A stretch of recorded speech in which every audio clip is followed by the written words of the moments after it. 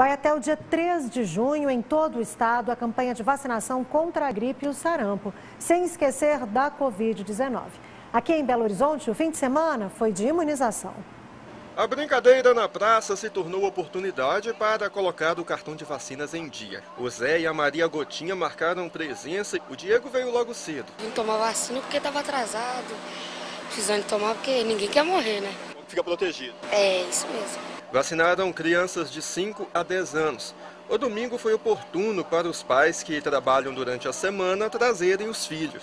A gente não tem tempo no meio de semana, aí no final de semana isso é muito importante. É muito importante, porque se você não for vacinado, é, algumas pessoas ao seu redor podem ser contaminadas também.